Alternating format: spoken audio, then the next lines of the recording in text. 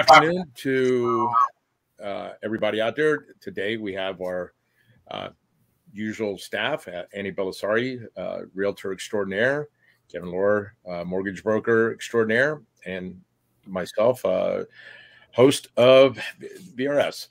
So today I wanted to talk about a couple things, and I know that this is you know closing up on the year, but one of the things that I've seen out there, and we've covered it in, on a couple shows, but I think that uh, I, I want to expand on this. When you, and I want to start with Kevin and then go to you, Annie. Um, when you look at at people's debt when they go to buy a home, um, what do you, how do you, how do you approach that? And you know, whatever, you know, there's no c- concrete way of doing it. I mean, um, one of the things I do want to cover today, and for those people that are listening, I want to cover something called the 7% rule. Now, in the last, I don't know why this is, but in the last five to 10 years, especially since since the mortgage crisis of you know 2008 and since then, and the the 7% rule had stayed in effect, I think, since 1950s. It was a, it was a common practice, and what the 7% rule says is that if you have debt um, you you pay off debt that is higher than seven percent, and if it's lower than seven percent interest, you you don't pay it off. You just use the money because uh, a, a if you invest in the S and P 500 or in the stock market, you're going to get a return of eight to ten percent, and that was that that stayed there for. And then last five to ten years, we haven't shown that to a lot of people, and it just you know, I don't know if it's because we're being less financially, you know, we're not as financially literate. We're, um, you know, we're on TikTok, you know, uh, you know, doing video. I, I don't know what the, the reason is, but the one thing that bothers me is that we're not teaching this to people and it, it's reverberating in in home purchases car purchases like uh you know that that you guys were talking about that the guy bought a truck, drove it to closing. I'm like, I, I mean, at that point, I, you know, sell his heart and his kidneys to to make up for it. But the but people do those things, and what I want to talk about today is a you know how do you guys approach people that have debt, and b how do you approach you know what do you tell people that have you know how do you to approach the debt when buying a home, and you know what to do after with the debt after they do have a home.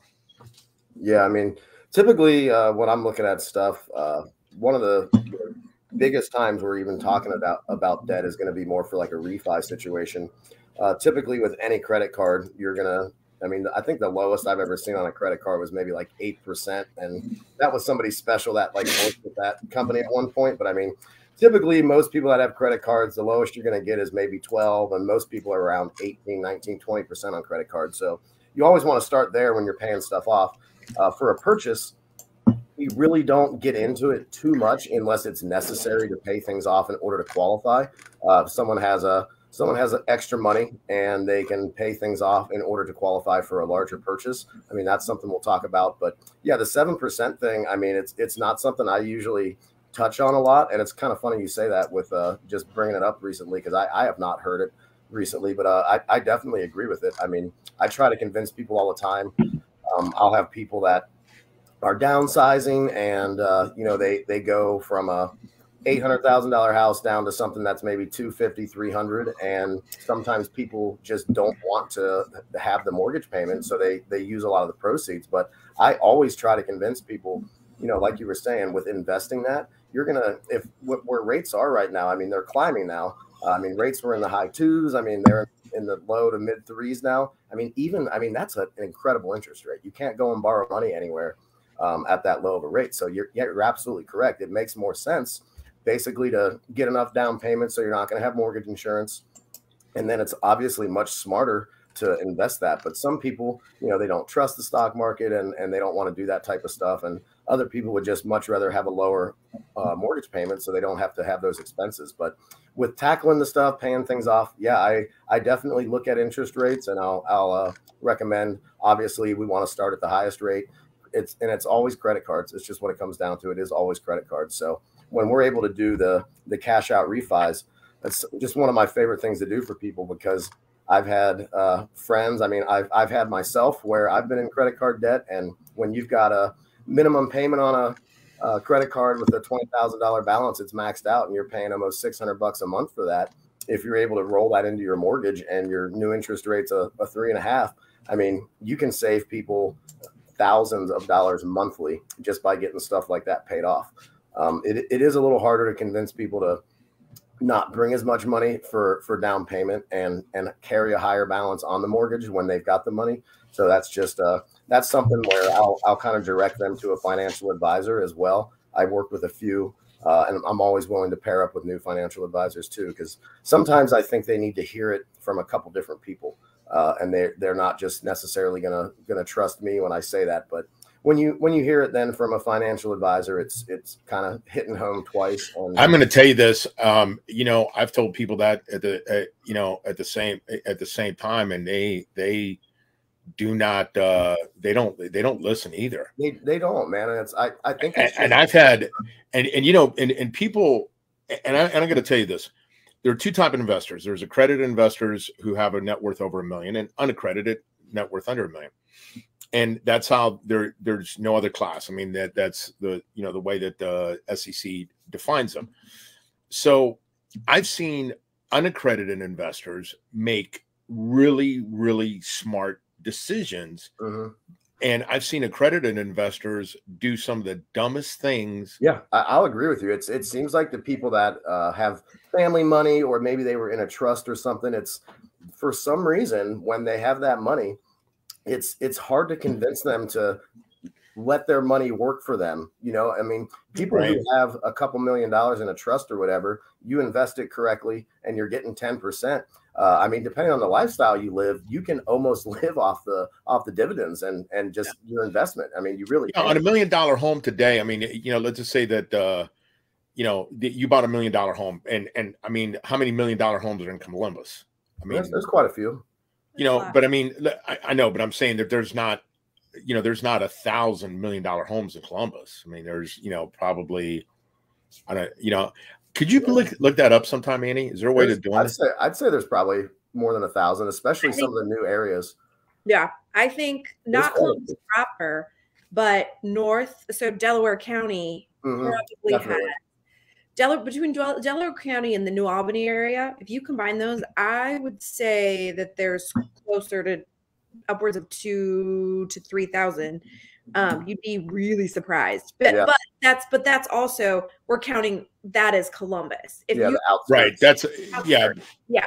If you're talking that, Columbus, you know, more Columbus proper, a thousand might be a stretch. However, if you yeah. include Door County, New Albany, right. you know, those so that's a, the reason the reason I was saying that is that the, the mortgage on right now, a mortgage on a million dollar home is going to run you what around nine nine thousand a month. I mean, it just it depends on how much they're putting down and, and rate and everything. And you know, it also depends if you're escrowing and including taxes. I yeah. mean, some of these some of these homes in New Albany or uh, Upper Arlington, I mean, you can you can be fifteen hundred bucks a month just on your tax bill, right? It's, if it's not more. Crazy.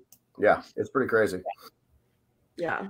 Yeah, I, I, mean the the issue, you know, like I said, going back to it is even, you know, if you if you put a million dollars in, in in the bank, and you you know drew out 10% that's you know uh, that's you know you're going to make a hundred thousand a, a year it's uh-huh. about nine grand a month give or take you know right. and, and if you you know um and that's why you know I, I always tell the story of that when we were uh, when we were selling stocks um, and investments that the most popular investment at the time and i wish it, it would make a comeback but it's just not um, was the railroad stock because they gave you, you know, they gave you a coupon every, you know, they paid dividends on it, and then you still had the original stock, and every year they it would just you had a coupon that you just, and then they would, you know, you would collect the uh the coupon rate and.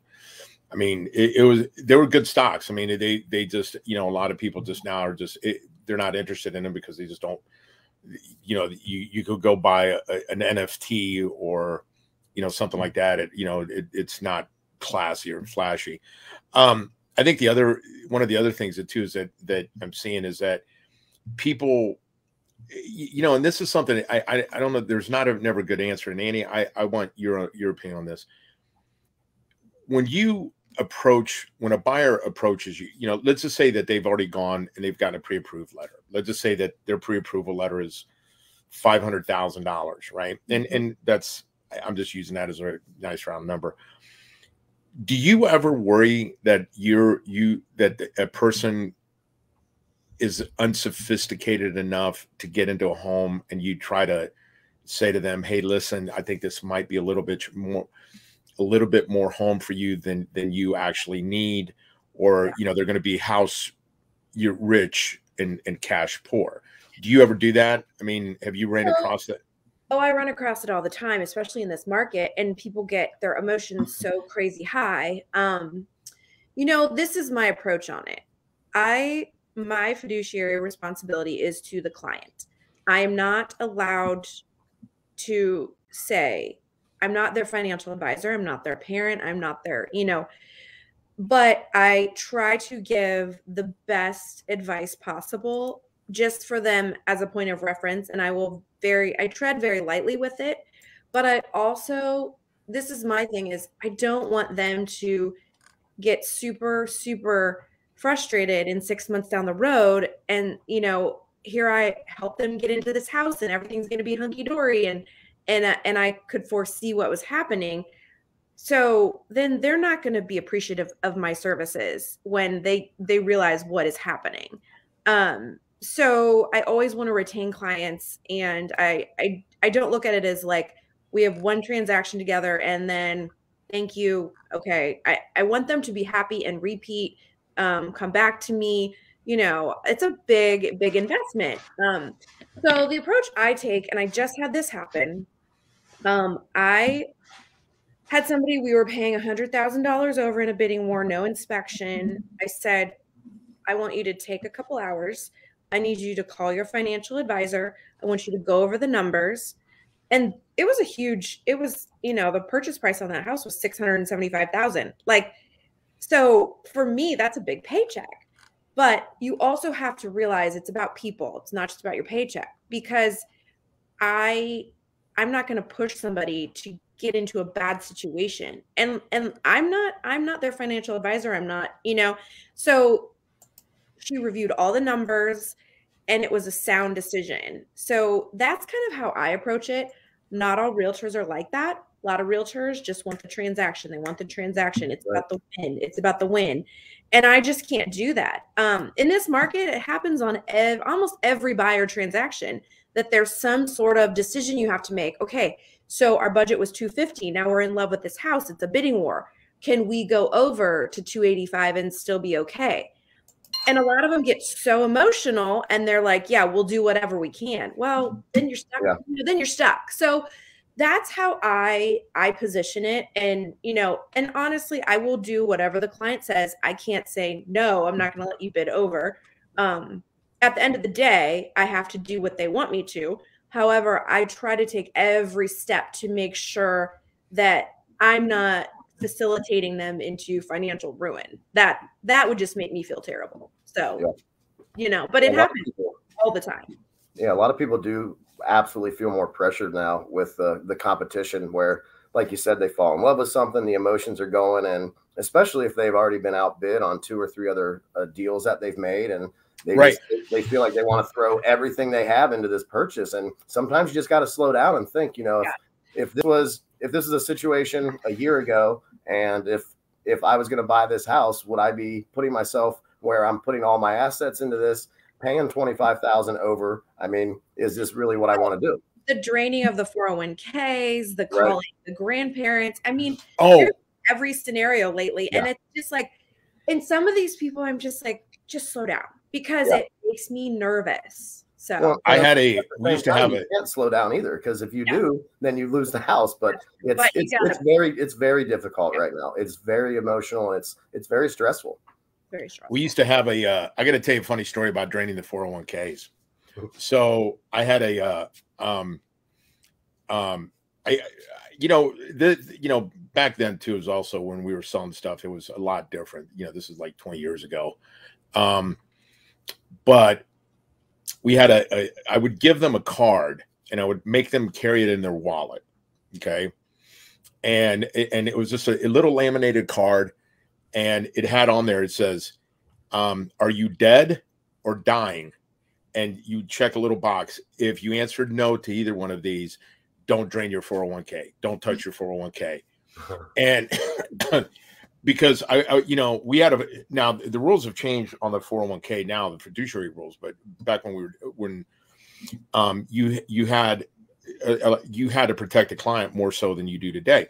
Yeah. The thing that we were talking about was like you would you know people would come and, and say well i want to take some money out for christmas. No no you're not you're not buying presents with your 401k or i saw the you know i'm no you're not buying a car you're not buying a motorcycle you're not buying a boat. No you know this is you know but people would do that. And i you know and, and in today's market you know you go to buy a home and you know you i think you were telling the story i mean i don't know if we told you told the story or we were talking about this is that in the mm-hmm. time that you took to meet a client at a house somebody had already written a contract in you know prior to you get you know prior to you get was, was that you were saying that happens all the time, all the time. Yeah.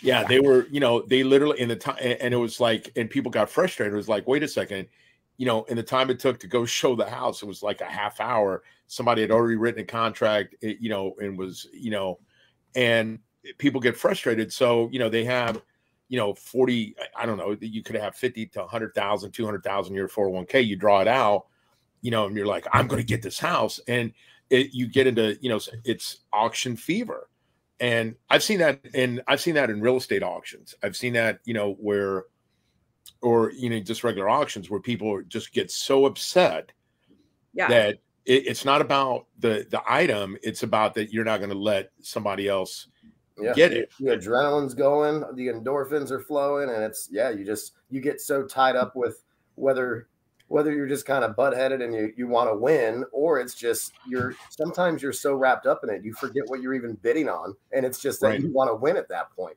It's yeah, yeah, it gets it gets really crazy and emotional. It really does. And that's the thing that I think I really try to to talk to my clients about is, you know, I will do whatever you want. However, I'm going to also, you know, give you the best I, am very honest about it.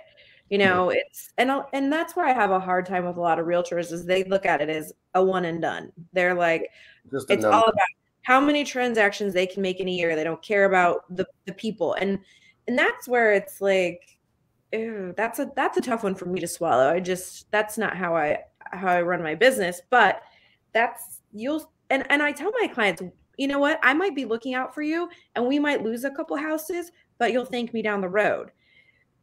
You know, so it's a fine line and everybody runs their business differently. Um, and I don't have any clients that have come back to me and said, you know, it didn't work out the way it was supposed to. I'm so sad I didn't go, you know, 60,000 over to fight for that house.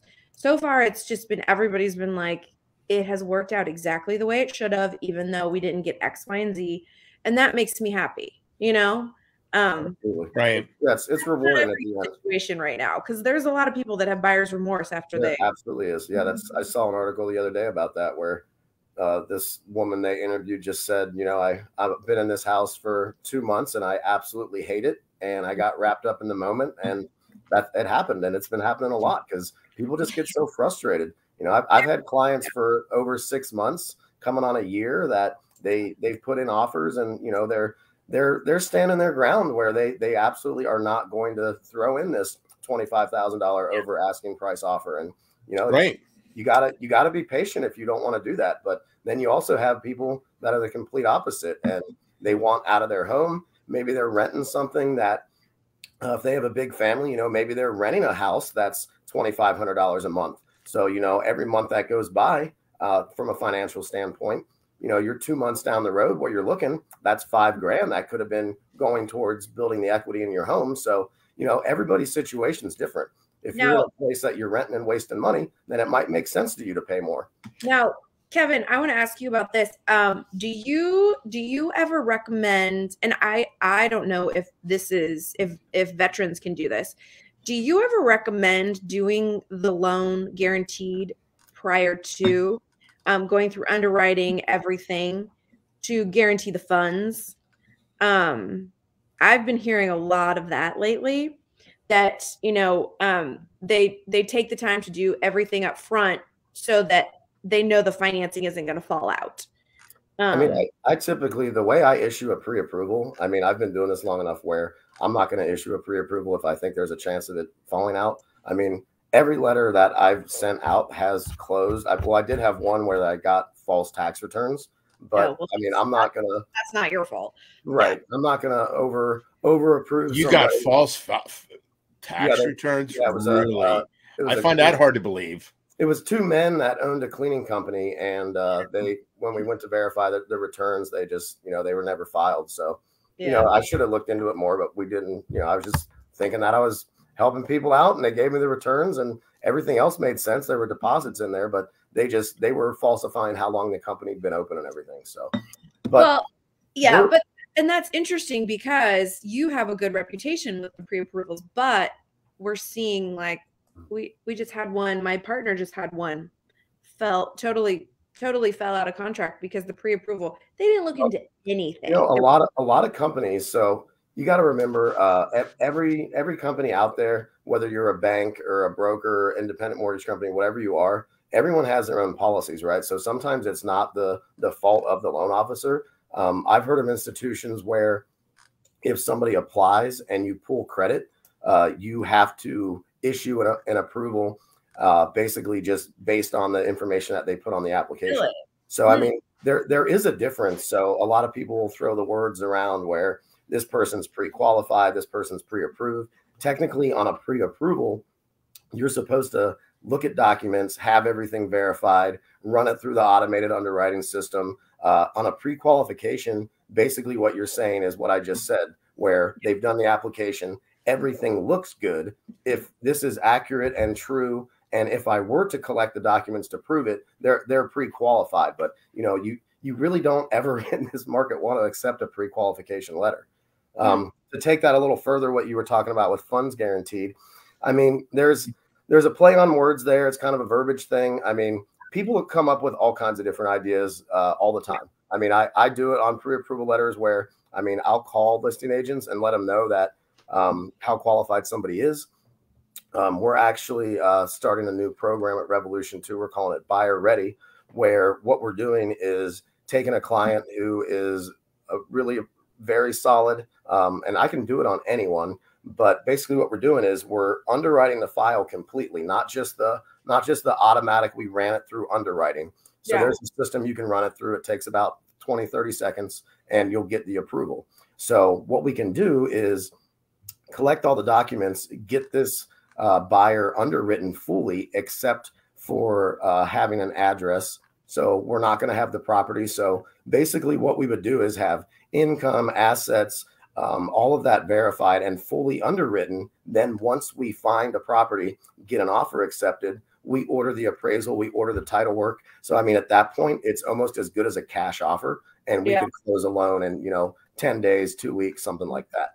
So that's, that's something that new yeah. that we're going to roll out, which is going to be an absolute game changer. So I mean, that's, it's that's really good because it's yeah. like, how do we get how yeah, we- we're, we're always looking for new ways to try to compete with the cash offers. And yeah. depending on how listing agents do things, uh, I think you and I talked about this once where a lot of times you'll pre order title. Uh, in, in central Ohio, you know, um, it's standard that the the sellers and the real estate agent on the listing side there would choose the title company. And that's good because what you can do is get ahead of the game, actually start getting that ordered so and you deal with one of my uh, you deal with a good friend of mine that's uh that's a title Kara Snyder and uh her her company is really a good uh you know yeah a, yeah a, Kara and I are good friends. Yeah known her a long time. Um that's and good. say that again?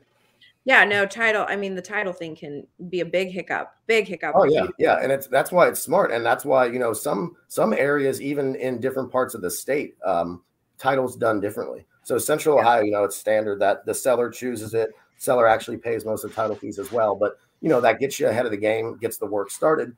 So basically, if you have somebody coming in and they've got a cash offer, a lot of times they'll still talk to a lender, and that way they can get a letter saying, "Hey, I've looked at bank statements. I verified this person has this amount of money."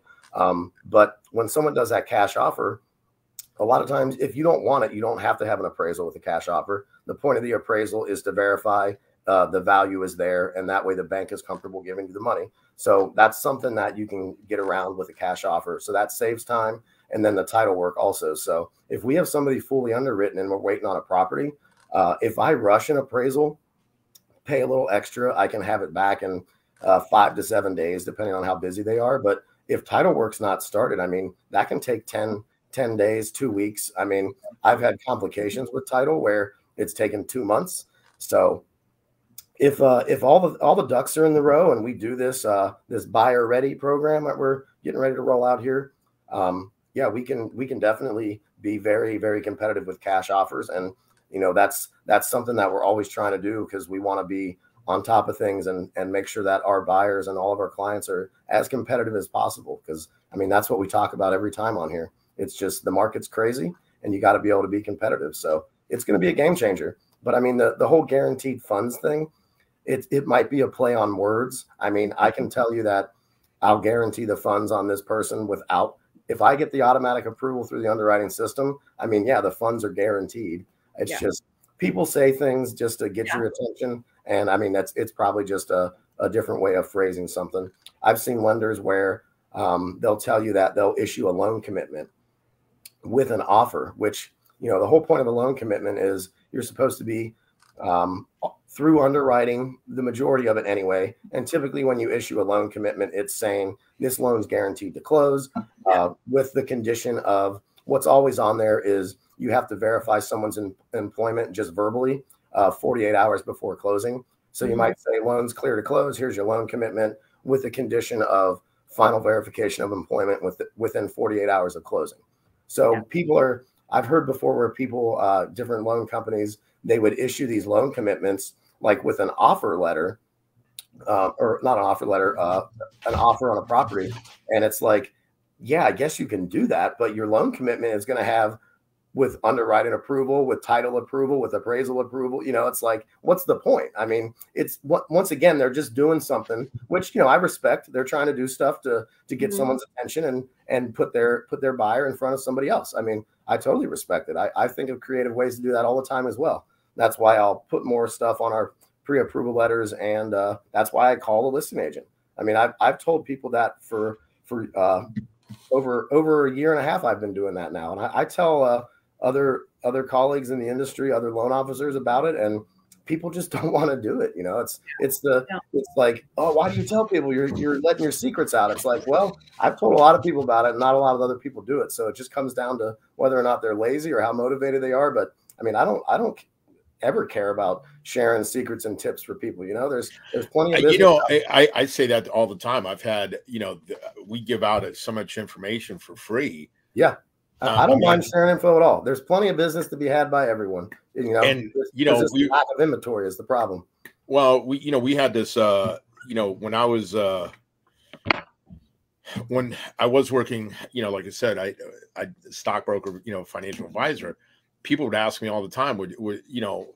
I would give them some, you know, some advice for free. Others, I, you know, I told them I had to charge for them because it was, you know, part of the thing. But because, um, but you know people would ask me all the time what do you think about this stock or what do you think about that and i'm like well you know this is a good you know look at what what, what are you planning on doing long term you know look at the pe ratio look at the volume you know being sold where, where you know where is you know where is the you know where's the market heading you know and it's just like this i mean today you know it's funny and the reason i say this is that you've got to stay up with you know certain trends one of the things that bothers me and, and, i'm looking at today is that most there's a velocity curve and most consumers are about 18 months behind what other you know where you know smart investors are investing in. Yeah.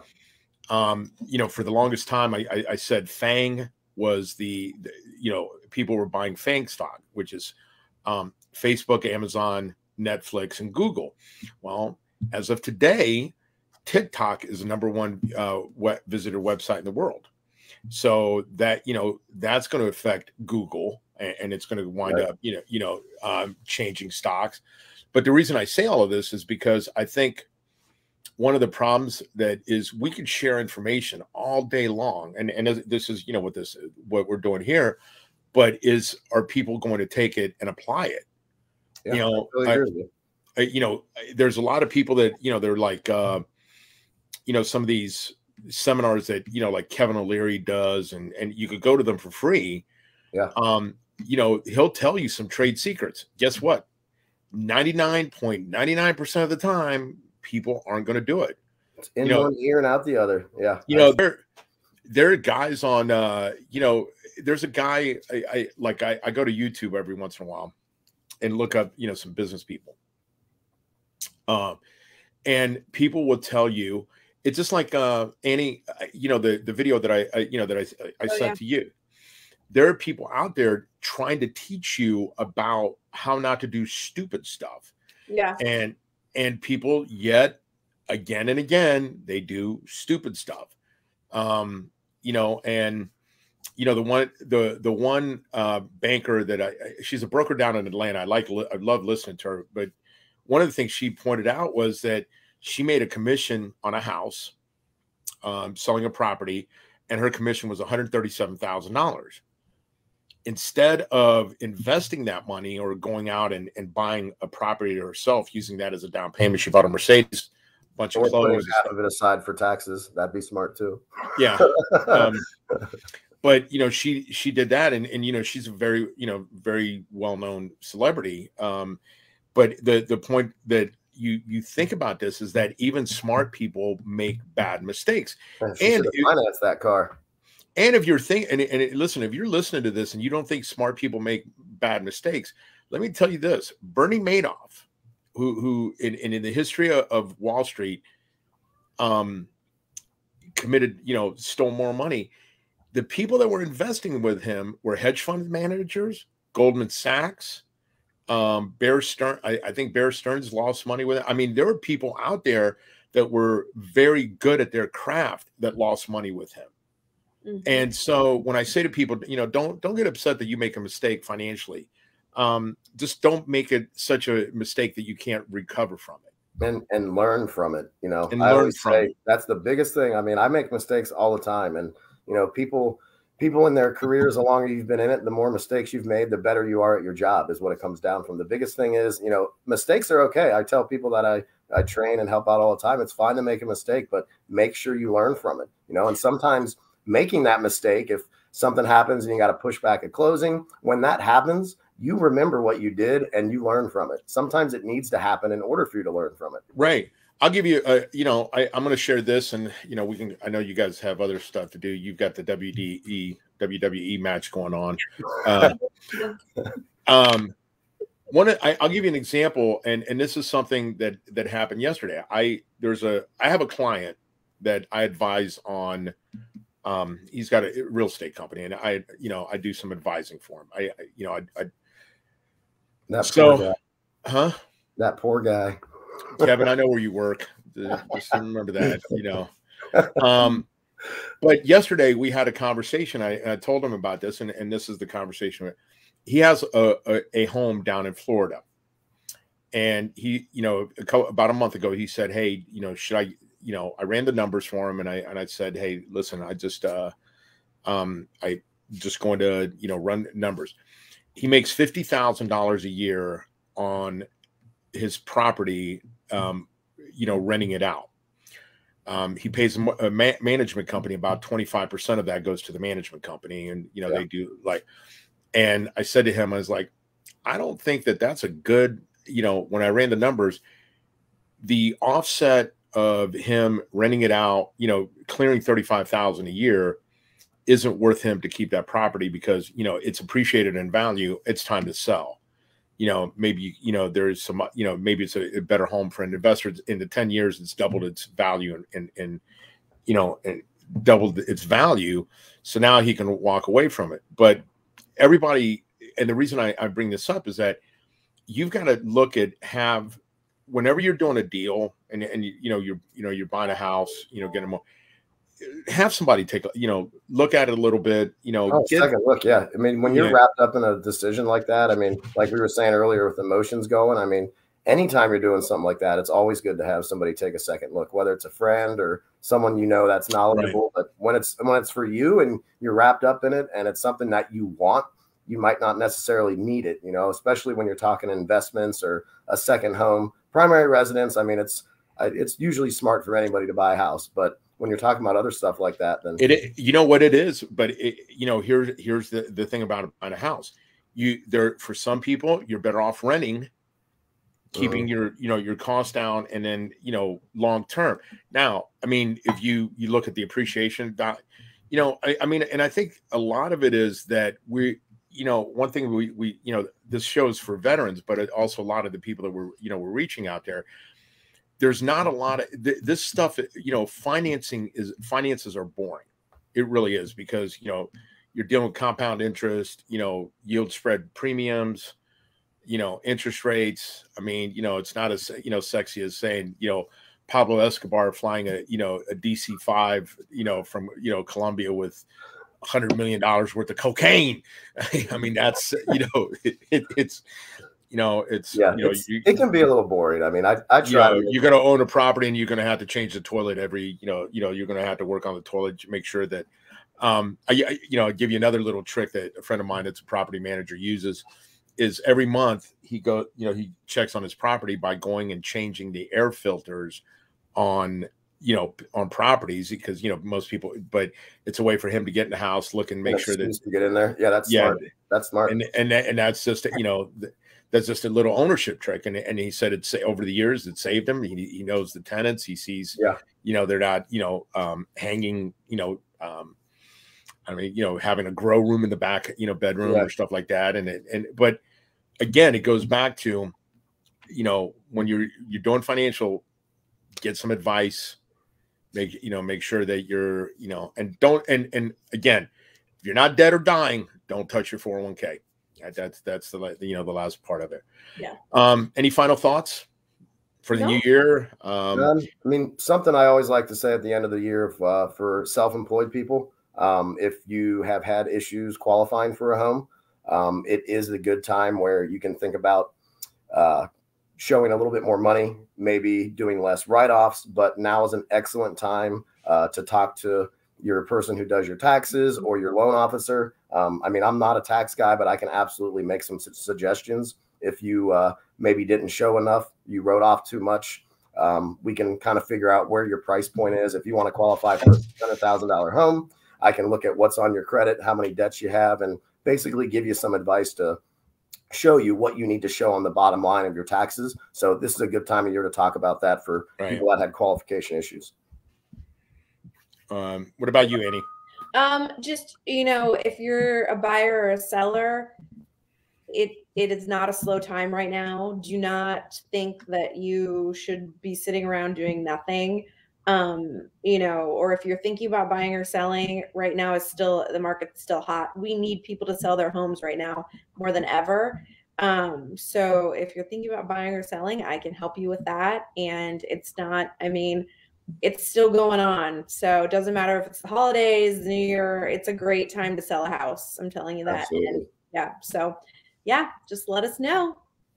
Well, and with that, we're going to uh, uh, sign off and we will um, again thank you for listening to VRS and hopefully you learned something today. We'll be see you next year. Yep. Yeah.